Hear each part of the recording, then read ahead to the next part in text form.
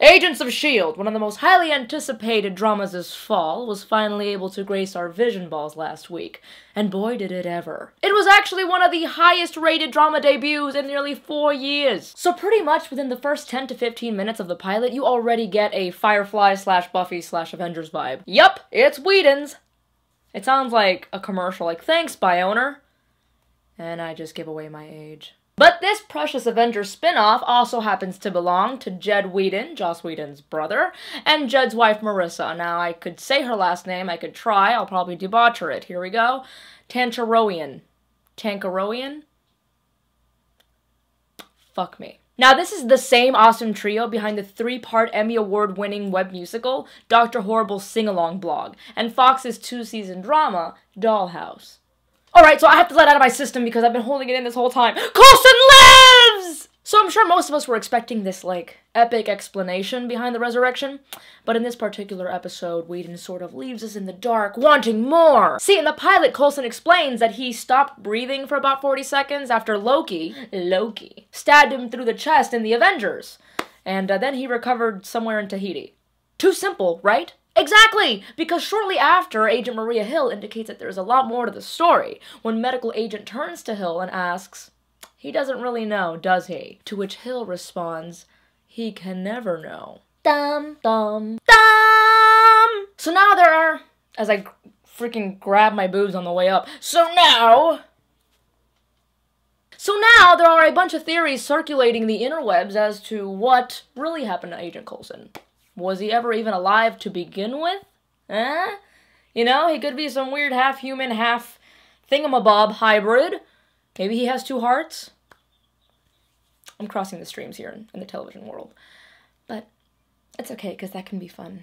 Aside from Coulson's resurrection, a lot of discussion revolved around the character Michael Peterson and his identity. Now, prior to the premiere of the pilot, a lot of folks speculated that he could perhaps be Marvel character Luke Cage, and a lot of people were super excited about it, but Unfortunately, at least in my opinion, and from a lot of articles that I've read, that is not the case. He could very well be a new character, and I'll explain why very soon. So apparently Mike, played by J. August Richards, gets his uh, superpowers from the Centipede. Now, the Centipede, while giving you all these amazing superpowers and all that crazy jizz, I'm not sure if it really gives you crazy jizz, though I don't doubt it. It also has a tendency to cause extreme out-of-control rage due to the extremis found within it, and for those of you who saw Iron Man 3 and obviously read the comics, you know what Extremis is all about. And Extremis is no bueno. No bueno extremo. Now, some still think that there is still more to this Mike character than meets the eye. Is he in fact taken from the comics, or is he maybe a completely new character for the series? While directing Much Ado About Nothing, Joss Whedon stated in an interview, it's new characters. It needs to be its own thing. It needs to be adjacent to the MCU, but you don't want to do a show where you're constantly going, Iron Man just left, but he was totally here a minute ago.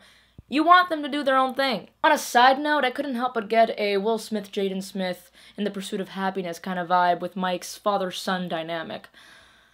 Totally fucking random, but I thought I should just, you know, Throw that in there. If you're a fan of Whedon's television work, then you will most definitely find his humor sprinkled throughout, as well as making larger-than-life situations and characters fit into a realistic world. And of course, you can't forget the badass, strong female characters. Ming Na Wen as Agent Melinda May and Chloe Bennet as Skye were true standouts.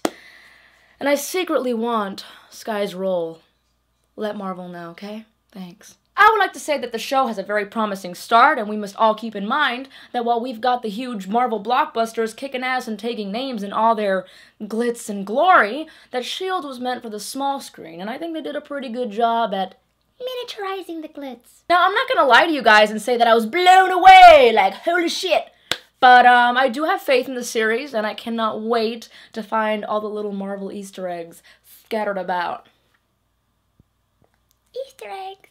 And I'll add one more thing. What I absolutely love about this premise is that it revolves around ordinary agents. And I say ordinary because, well, these are people that are sans superpowers.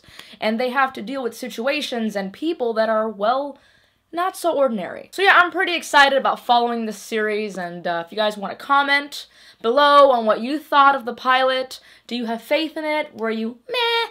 Or were you just like jacking off left and right from how amazing it was? Just tell me what you thought and stuff. And tell people to subscribe to the channel.